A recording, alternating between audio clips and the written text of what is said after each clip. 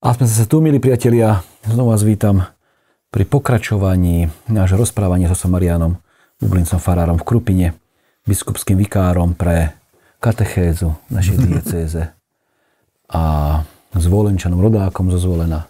Čo ešte by som o tebe napísal, povedal? Už teda. asi stačí. no.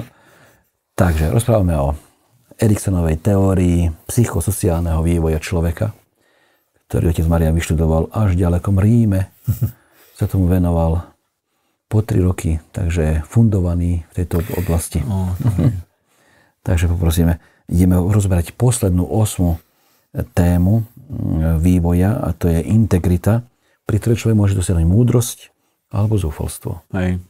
Aj tá fundovanosť príde možno, že ak, ak po, po, pred smrťou, možno, dúfajme teda, že po smrti u Pána Boha už budeme fundovaní, Pán Boh. aj múdri.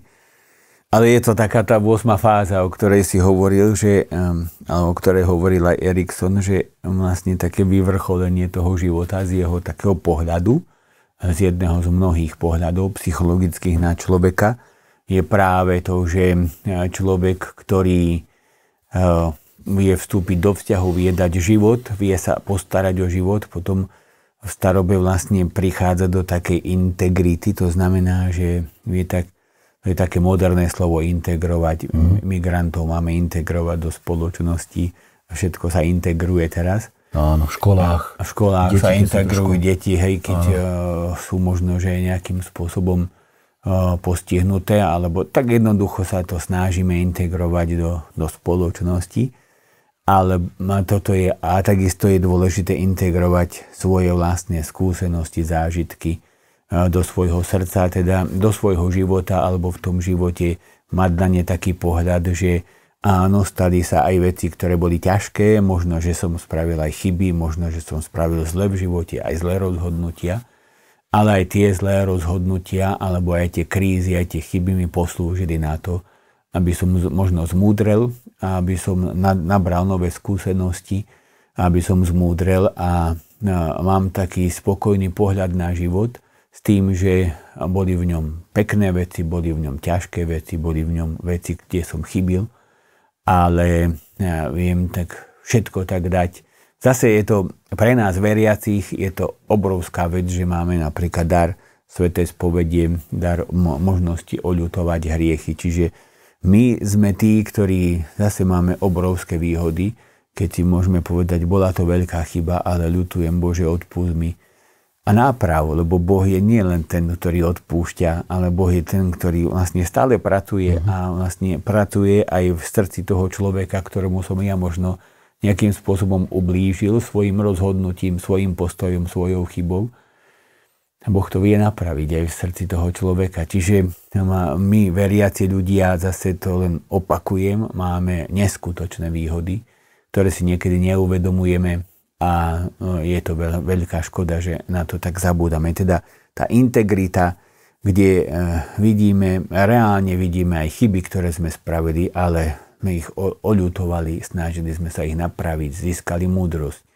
A opak tohto, e, tej- tejto, e, tejto životnej situácie je potom zúfalstvo, teda keď to niekto nevie spraviť, nechce spraviť, tak vlastne prichádza do situácie, keď mu neostáva nič iné, iba sa pozrieť na život, e, možno, že s takým smu- smutnou otázkou, že hm, na čo som tu bol. To je otázka oveľa smutnejšia ako otázka, ktorú si často kladieme, na čo som tu teraz. Mhm, Hej, lebo na tu vieme, môžeme ešte odpovedať, môžeme to zmeniť, ale keď si raz položím otázku, na čo som tu bol, a nebudem vedieť na to odpovedať, tak vtedy je to pre človeka ťažké a mnoho razy ako naozaj upadá do takého zúfalstva a do, do smútku, do šomrania. Máme, asi e, sa na tom zhodneme, že chodíme často do domov dôchodcov, aj ty, aj my máme tri domovy dôchodcov v Krupine a chodíme tam svetú omšu pos- spovedať alebo aspoň porozprávať sa s tými ľuďmi.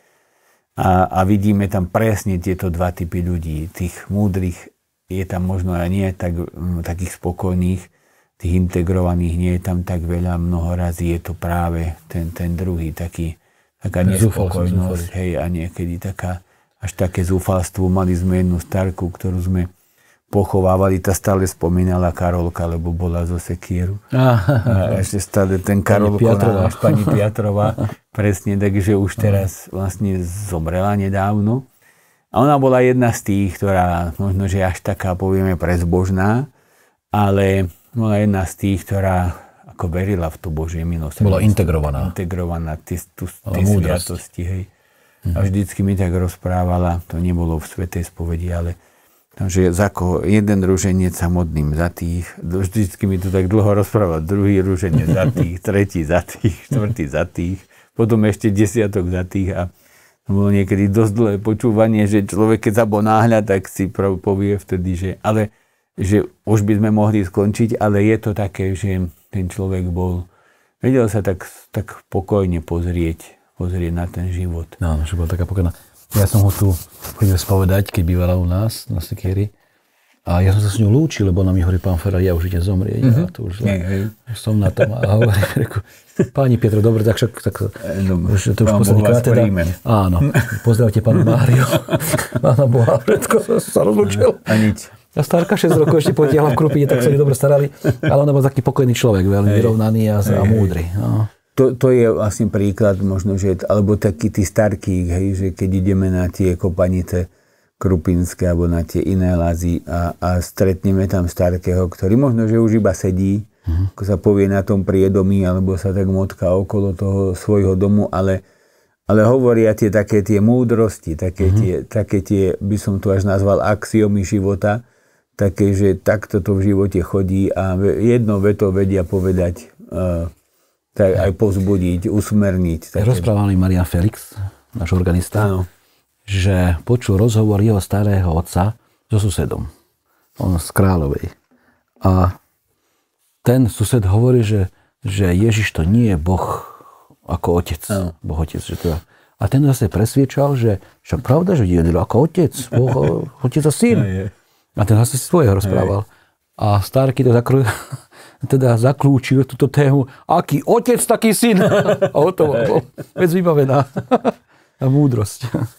No. Hej, alebo také, tie jednoduché také vety, a ktoré tak ostanú človekovi v mysli, že niekedy sa tak trápime, trápime a ja som tak raz rozprával jednému starkému, to bolo ešte asi na Pitelovej, no, dá, dá čo bolo, také starosti aj farské a tak, a mi hovorí, pán farár, každé čudo trvá 3 dní. Počkajte 3 dní a ono to prejde. A hej, že niekedy sa ideme utrápiť, lebo sa to stalo, to stalo. Každé čudo trvá 3 dní a ono to postupne ľudia zabudnú, nájdú si iné a už riešia iné veci. Takže to sú veci, ktoré sú také, to je tá, taká tá, tá múdrosť, ktorá prichádza s rokmi ale nemusí to byť iba, hovorí sa, že um, múdrosť prichádza s vekom, ale niekedy prichádza vek aj sám. a zase niekedy tá múdrosť, uh, nemusí to byť naviazané len na ten starecký vek, že už je ten človek starý a vtedy môže byť múdry. Pretože oslovenie starec, myslím si, že aj u púštnych otcov nebolo o tom, že si starý o veku, o veku ale bolo to o takej tej múdrosti, ktorá ide s no. vekom samozrejme ale mnoho razy tí, tí starci alebo tí púštni otcovia, ktorí boli veľmi múdri, nemuseli byť veľmi starí, ale práve tým uvažovaním, premýšľaním, modlitbou, skúsenosťami, tak oni tiež mali vytvorené tie také dôležité zásady. Rob, čo robíš, uh-huh. buď kde si. Hej, uh-huh. aj to vlastne teda, také jedna veta, hej, a, alebo kratúčka veta, ale veľká múdrosť, hej, uh-huh. že v tých, v tých vetách skry, ukrytá. A to je, teda nemusí to prísť iba s tým samotným vekom, ale väčšinou samozrejme, že to príde aj s tými skúsenostiami životnými. Že tam sa skrýva tá, tá, tá autorita tej, tej osobnosti toho starca. Áno. Lebo však keď ja poviem veľkomu, že buď ide si, no tak povieš, no však chápeš. Ale keď to on povedal, vieš, že to je naozaj, že ten duch Boží cez toho človeka hovorí. Áno, že to je no. taká, taká tá veľká múdrosť no. aj mnoho razy taká veľmi dobrá, kratučká rada, ktorá sa dá zapamätať áno. do života. No a tá múdrosť sa získava, alebo teda aj tá integrita múdrosť sa získava aj skúsenosťou a, a my vlastne žijeme v dobe, keď e, treba bohužiaľ rozlišovať medzi zážitkom a skúsenosťou. Zážitkov máme všetci veľmi veľa a hrníme sa z jedného uh-huh. zážitku do druhého. a či už životného, lebo nie, nie, život niektorých je len o, o tej, že z jednej zábavy na druhú, hej, z jedného nejakého potešenia, teraz mám to, teraz mám to, to, to, to. A vlastne bez toho, aby sme sa zastavili, zamysleli, takisto je to mnoho razy s filmami, hej, že skončí jeden film, už začína druhý, medzi tým ešte nejaké reklamy, čo nás domotajú a, a, a my nemáme čas nad tým uvažovať. Čiže my máme všetci veľmi veľa zážitkov, sme toho veľa zažili, ale nemáme skúsenosti, lebo skúsenosť sa vás rodí vtedy, keď nad tým zážitkom aj v tichu porozmýšľam. Čiže ja potrebujem takéto ticho uvažovanie, že videl som nejaký film a viem o ňom porozmýšľať, po prípade podebatovať s niekým, napríklad o tom filme. A zažil som niečo a bola to možno trpká skúsenosť alebo mm-hmm. to pekná skúsenosť, ale mám chvíľu ticha ktorej môžem nad tým porozmýšľať. Môžem to, zase keď som veriaci, premodliť. Zase keď tam idem do, to, do kostola, je tam ticho. A preto aj mnoho razy tak ako trošku tak tie naše tie, tí, ktoré sa modlia, dobre, že sa modlia rúžence a tak aj v tom kostole pred svetom už vždycky tak prosím, dajme tak tých 5, 10 aj 15 minút aj ticho v tom kostole. Nemusíme sa možno, že všetko pomodliť. Že Niekedy nám to ticho aj z kostola ho vyháňame tou takou mod, e, aktivitou, stále aktivitou, no. že ako keby sme sa tak niekedy báli ostať ticho pred pánom a, a pritom vtedy prídu mnohé také tie objavné myšlienky, ktoré sú objavné pre nás. Hej, že ja sa môžem dlho trápiť s niečím a Duch Svety príde a mi to tak vnúkne a povie mi, že toto je možno a tiež možno jednu vetu, jednu myšlienku a tá myšlienka mi môže pomôcť aj celý život. Hej, že ma, ma vedie. Áno, áno. Čiže to je vlastne to taký, taký čas, keď v tichu ja môžem popremýšľať. Teda múdrosť sa nerodí zo zážitkov, ale zo skúseností a skúsenosť sa rodí, že okrem toho, že zažijem, tak aj premýšľam nad mm-hmm. vecami. Mm-hmm. Veľmi pekný príklad je patriarcha Jakub. Vieš, keď prichádzajú tí snovia, a on v tej svojej múdrosti a skúsenosti s Bohom im rozpráva do budúcna. Je, že, že to je naozaj taká, taký veľký príklad. Alebo ten, keď Mojžiš dvíha ruky vie, že, a žehná svojho národu. Že to je taká skúsenosť. To je tá, to je tá aj skúsenosť s mhm. Bohom a tá, tá, tá múdrosť tých, uh, tých aj pravcov, patriarchov, že oni, oni vlastne v tej múdrosti uh, videli do budúcna nakoniec Nakoniec to je tiež takéto odlíšenie od toho zúfalstva, to je tá, lebo, lebo v tom zúfalstve my už vidíme iba zlo a nič nevidíme. Hej, že tam už nie, nie, nie je východiska. Čiže to je opak toho, čo môže človek dosiahnuť, že áno. buď múdrosť, alebo hej. teda môže, môže stať zúfalstvo. Vlastne tí patriarchovia alebo múdri ľudia vedeli tak akoby pozrieť do budúcnosti. Tešili sa z vecí, ktoré prídu, tak to máme aj v liste Židom, že videli, čo prichádza a tešili sa z tej nádeje. No. Títo patriarchovia. A že títo ľudia, ktorí sú možno poznačení tým zúfalstvom, už nič dobre nevidia a všetko je iba katastrofa, všetko je zlé. A s takými ľuďmi je veľmi ťažko sa rozprávať aj stretnúť, lebo oni vlastne všetko negujú. Všetko bolo voľa kedy krajšie, všetko bolo lepšie, všetko bolo také iné. A, a do, do budúcnosti už nič dobré ani, nie, ani nevidia a možno, že istým spôsobom ani neprajú, že to zúfalstvo je také veľké, že už ani neprajem tomu druhému, aby zažil niečo pekné, mm. že jednoducho ten svet je už tak zlý a tak skončí sa to všetko zle. A ja sa z toho až niekedy teším. Niekedy až tak to človek až tak, za človeka až zamrazí, že niekedy sa až tak privoláva tá, ten Boží trest, tá vojna nejaká, že to sa všetko nech to Pán Boh zničí, lebo to už nemá budúcnosť. A to sú tiež ľudia, ktorí sú plní zúfalstva a istým spôsobom, aj keď sú to pekné reči, že Boží trest nech už teraz príde a nech to, tak sú to aj reči, ktoré sú pohanské. No. Jednoducho ne, nemajú nič spoločné s Pánom Bohom, aj keď to tak pekne zaobalenie vyzerá. Áno, lebo oni, však v starom zákone to ten, ten kedy už príde ten, ten deň Boží, deň ano. Boží, tak očakávali. Myslím, že to potom Ámos hovorí, čo to čakáte, čo, čo ste. To je, pán Ježiš, hej, keď to, to vlastne vošiel do synagógy v, uh, doma v Nazarete, tak tam vynechal práve tú vetu, že vlastne prišiel som uh-huh. ohlásiť Izaiáša, tak, de, de, no, koniec, hej, že uh-huh. utláčaných rozviazať puta a Izaiáš tam mal tú vetu a ohlásiť deň pomsty nášho Boha. Uh-huh. Pán Ježiš ju nepovedal v tej uh-huh. synagóge, preto sa asi aj nahnevali na ňo, že to, na čo sme najviac čakali, deň pomsty nášho Boha si ne, nezacitoval. Ako uh-huh. ukončil ten citát v polovici vety Čiže nie, nie, neprišiel som preto, aby som teraz ohlasoval pomstu nášho Boha, ale jeho lásku. A uh-huh. niekedy to tak, ako my by sme tak túžili po tej pomste, že nech sa to všetko ukáže, nech to tak Pán Boh všetko... Všetko vytrestá, ale že ani budeme s tým my, no, tiež trpieť. to sú čo my sme tí, ktorí si myslíme, že by sme áno. si nezaslúžili, ale určite, určite áno. Človek si môže vybrať, že buď teda bude rásť skúsenosti, teda bude mať zážitky, bude nad nimi rozmýšľať, bude sa tomu venovať. Áno. A prichádza skúsenosť. Tá integrita a múdrosť potom z toho. Áno, a múdrosť, alebo môže... Alebo môže ísť vlastne tým druhým smerom, že nie, nie, nevedel som vstúpiť do vzťahu. Neviem, kto som, nevedel som vstúpiť do vzťahu. Nie, nevedel som sa postarať o toho druhého. Myslel som na seba a potom zúfalstvo. Ale ono je to tak, že to nie je určujúce, že teraz ja, ja som možno, že nejde, to, nie, nie, nejde tu o to, že koľko zla alebo dobra som spravil, ale či som to dokázal integrovať, mm. pretože ako sme hovorili na začiatku, ja aj to zlo viem integrovať, keď som veriaci oľutovať, vyspovedať sa možno z neho, dať to do Božiemu milosrdenstvu, veriť, že Božie milosrdenstvo s tým niečo spraví, dokáže to, že so mnou niečo spraví Čiže nie je to, nejde tu o to, že teraz ja som, ja som už takto určený, že ja som len na to zúfalstvo.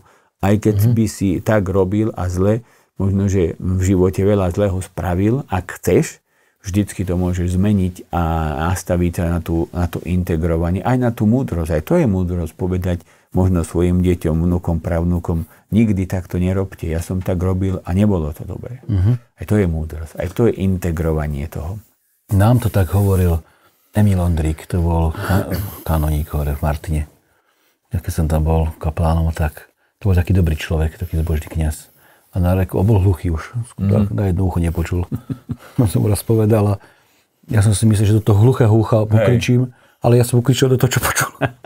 o, vieš, čo, čo kričíš, veď počujem. Však ste vždy hovorili, že nepočujete. no a, on si tak na rekolekcii tak hovoril, že bratia, len žite poriadne, Hej. ako kňazi, mm-hmm. aby ste nemali na staré kolena výčitky svedomia. Hej. Takže tak nám, tak nám on radil. Teraz tak to je tiež taká dobrá rada, pretože no. naozaj, že niekedy človek si myslí a potom to už ostane, ostane iba sám s tým svojim životom, s Pánom mm-hmm. Bohom. A v podstate ľudia nás istým spôsobom prestávajú potrebovať, hej, že keď sme už tí starí, už ani tá starostlivosť, už sa nemáme o koho až tak veľmi starať. Hoci ľudia zase, aj tu sú múdri ľudia, ktorí napríklad, ale sa modlia, ja sa modlím mm-hmm. za tie vnúčence, za tie svoje deti, lebo oni sa nemajú mnoho razy čas pomodliť. A je to pravda, hej, ale ten starý človek, tá starostlivosť sa môže preniesť do tej modlitby Za, tých, za tých svojich drahých a tá modlitba má nezaplatiteľnú hodnotu. Hej, že vyprosujeme to Božie požehnanie pre tých, ktorí možno nemajú kedy si ho prosiť, alebo si to no. aspoň myslíme. Že modlitbou môžeme ovplyvniť aj konanie v Juhoafrickej republiky. Presne. Vieš, že Svetý otec František tak pekne vyjadril, že nevieme, kto sa... My sa tu, niečo sa nám dnes zadarí, uh-huh. ale nevieme, či sa niekto v Amerike za nás nejaký ano. starky nepomodlil. Ano. A ten nám to vyprosil, takže je to o tom, že že tá modlitba nás prepája, to je to spoločenstvo svetých. Áno, Gloria Polo, to spomínate, čo zažila ten, ten úder som e, na blesku, stála som pri bránach neba, neba a pekla, či ako to mm-hmm. tak nie je. A ona e, rozmýšľala, že prečo sa jej stala taká milosť, teda, že Pán Boh vráti na svet, naspäť do života, lebo ináč je hrozno zatratenie. A Pán Boh jej ukázal nejakého starého, starého pána Indiána, ktorý sa modlil. Ktorý sa modlil, ktorý ešte obetu, keď to prečítal, že v novinách, ktorý si, do, ktoré do nejakých šalát si kúpil, alebo či ja si dobro vždy spomínam, ale také niečo tam bol zabalené, keď to jedol, tak tam si prečítal tú správu. Hej. A on začal tak modliť za dokonca slúbil, že pôjde na púť, ale na druhú stranu republiky a kvôli tomu. Hej. Tá sa... modlitba má ako obrovskú, obrovskú no. váhu. Áno. Keď by som bol ako vetchý starec a zúfalý, čo som to všetko pobobral. Čo mám robiť? No to je práve to, že, že nie je to, neuveriť, že toto je môj ten definitívny stav a ja stále mám možnosť, Inakže oľutovať, e, význať, odprosiť, možno napraviť, modliť sa a veriť uh-huh. to Božie milo. To, zase to Božie milosrdenstvo nie je len o tom, že Pán Boh nám odpustí teraz hriechy, ale že je to o tom, že kedykoľvek sa môžeme ponoriť do Božieho milosrdenstva. No, opakujem sa, ale je to obrovský dar, ktorý my, kresťania, a teda veriaci máme, že máme napríklad tieto sviatosti. Akože to je, to je zase také, také naplnenie toho, tých všetkých, alebo aj riešenie tých problémov, že si to nevieme ani predstaviť.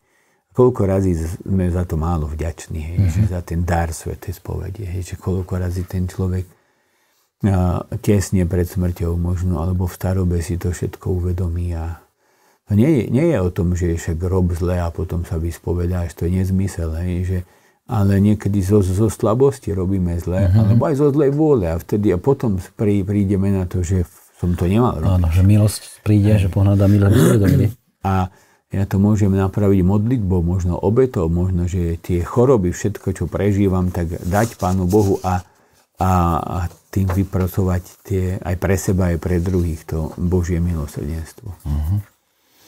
Niekto môže mať také, sa stretávame s tým, že majú výčitky ľudia svedome, že nezvládli výchovu, alebo či deti svojim, svojim smerom, alebo čo. Mnohokrát je tak vytrestú tých starých rodičov hej, tým spôsobom, tým svojím spôsobom života? To ani nemusí, tiež to môže byť, hej, že, že človek nezvládol hej, mm. niečo, čo možno mal zvládnuť, ale zase my si beriem, predstavujeme si výchovu tak, že vlastne ja som sa snažil, vychovával a teraz automaticky tie deti všetky budú vychované a to vôbec tak nemusí byť, lebo mm. oni, to pápež Benedikt veľmi pekne vysvetľuje v jednej svojej encyklike, neviem presne teraz názov ktorej, ale vysvetľuje to tak, že každá generácia je slobodná. Čiže my tie morálne zákony uh-huh. Nie, neberieme tak, že automaticky, hej, že morálne zákony, ja sa musím pre každý zákon eticky, morálny rozhodnúť, že chcem tak robiť. Uh-huh. Kým pre, pre fyzikálnych zákonoch sa nemusím rozhodovať. Hej, že keď uh-huh. som neveriaci, skočím z 10. poschodia, alebo neverím v zákon gravitácie, no tak neverím je, je to môj problém, bude po mne. Ale ja neverím v nejaký príkaz desatora, neverím, že, že nepokradneš by mi mohlo nejakým spôsobom ublížiť, tak ja sa musím rozhodnúť. Keď mám možnosť kradnúť a neukradnem, tak sa musím vedome rozhodnúť, že to nechcem spraviť, lebo môžem ukradnúť. Čiže vždycky je tá moja sloboda, ktorá je potrebná na to, aby som prijal hodnoty. Takže ľudia mnoho razy sa trápia s tým, čo ani nespravili zle, trápi ich to, že tie deti možno nežijú tak pekným životom, ale nech, e, nech si to nedávajú celkom vždy za vinu. Možno, že je dobre porozmýšľať, mohol som inak robiť, ale aj keby som mohol inak robiť, a nakoniec mať, ako sa hovorí, mať ten rozum, aký mám mm-hmm. teraz, starí no. ľudia to povedia, mať ten rozum a mať 40-30 rokov, no tak by som ináč robil. A to sú tie skúsenosti, ale t- netreba sa s tým trápiť a E, treba to tiež dať Pánu Bohu a do tej modlitby. A nakoniec všetko, čo sme spravili s dobrou vôľou a s láskou, tak, tak určite zanechá aj do, dobré stopy v srdci toho človeka. To, že človek zažije v živote nejaký šok a na to je nejaká, podľa Eriksona, nejaká možnosť teda to riešiť. 5T. to ani nebolo už Erikson. E, Erikson pove, povedal, že hej, no to, to sme sa učili kedysi na branej výchove, že Erikson povedal, že vlastne tým, že nám pribúdajú roky a ide staroba, tak my zažívame šok, lebo no. zrazu nevládzeme, zrazu nám to tak nemyslí, zrazu zabúdame, zrazu je všetko inak, ako bolo doteraz, čiže je to šok. A na branej výchove sme sa učili, že keď takto zažije šok, tak sa má držať. Máme postupovať podľa tých 5T Uh-huh. To je ticho, teplo, tekutiny, transport, tíšenie bolesti a transport. Čiže uh-huh. vlastne takto by sa malo postupovať. No a ja som to tak trošku aplikoval potom už na ten šok e, z toho veku, že čo to možno znamená, tak to ticho, kratučko sa môžeme pri tom tak uh-huh. zastaviť, že čo to znamená, teda to ticho v tom, e, ticho v srdci človeka je to, alebo ticho v tej starobe je to, že každý človek potrebuje taký svoj vlastný kútik ktorý má ten, ten domáci. Mm-hmm. Niekedy doma sa to dá vytvoriť a v tých domovoch dôchodcov až tak veľmi nie, ale aj tam. Mm-hmm. Že tie, keď ideme, tak majú tie starké tie obrázky, tu krížik, obrázok, vnúčka, pravnúčka, všetko, to je ten ich kútik, taký mm-hmm. ne, sestričky sa im toho nemôžu dotknúť, lebo by bolo zle. Ale je to také, má, má, v tom malom kútiku som akoby tak v inom svete. A ten človek starý to potrebuje, starší to tiež to potrebuje, tak to ticho, kde, kde on môže tak prísť a môže aj sám v sebe premýšľať, aj v sebe mať to ticho. Aj žalmista to hovorí nádherne, ja som svoju dušu upokojil a utíšil. Ako nasýtené dieťa matkinom náručí, tak je moja duša vo mne. Teda to je vlastne to ticho, hej, že človek umožniť tým starkým, aby to ticho mali uh-huh. a aby ho mohli tak prežívať ticho. Potom je tam teplo, teplo tých medziludských vzťahov. Zase, zase mm, to, to, tie vzťahy sú mm, takým darom, na ktorými zabúdame niekedy už aj my, kresťania, začíname pohrdať vzťahmi a začíname ich považovať za nebezpečné, keď sa vytvárajú vzťahy, že prílišné vzťahy také. Jasné, že treba budovať múdre vzťahy, ale bez vzťahov, najsvetejšia trojica je o vzťahoch, kresťanstvo je o vzťahoch a teda tá, ten vzťah tam, tam musí byť čiže ukázať tým ľuďom, že ich milujeme, že ich máme mm. radi. Zase to je tá skúsenosť, že keď my tým ľuďom ukážeme aj tým starkým, že ich máme radi, že sme radi prišli k ním, že sa radi s nimi rozprávame, tak,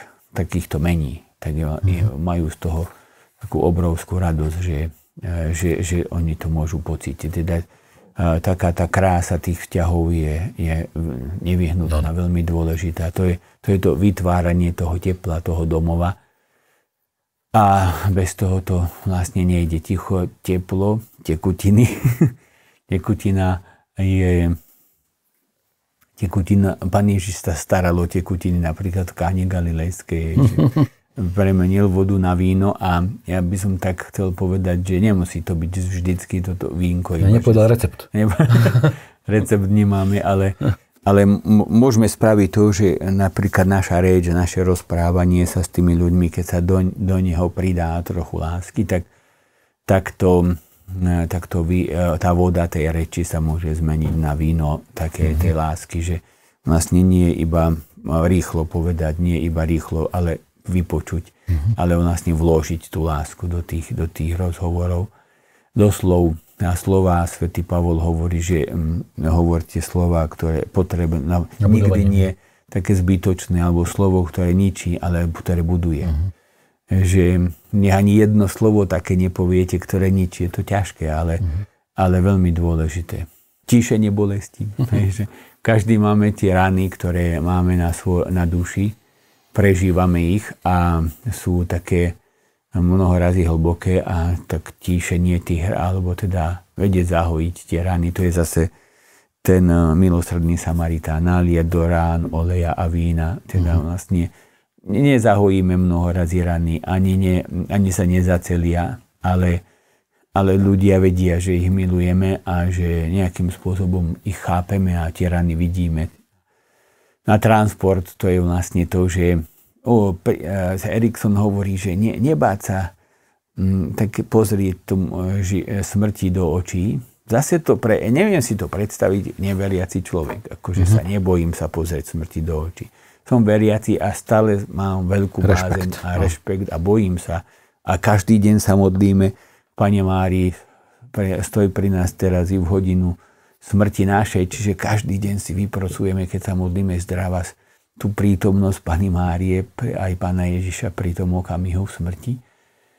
Ale on hovorí takú zaujímavú vetu, že deti rodičov, ktorí sa neboja smrti, sa nebudú bať života. Uh-huh. Čiže keď rodičia sa vedia pozrieť do tváre smrti s vierou, a s nádejou, s bázňou, ale s ak, takým pokojom, tak ich deti sa nebudú bať života. Ja som sa nebal smrti, ty sa nebudeš bať života. Čiže máš ten život v tých svojich rukách a to je transport znamená priznať to, že všetci ideme e, ku, ku smrti a nemá zmysel si to zakrývať. A som to tak, e, keď som bol brusne, sme chodili splavovať hron a tam nám povedal na začiatku ten, čo nám požičoval člny, že nikdy sa nechytajte toho, čo je na brehu.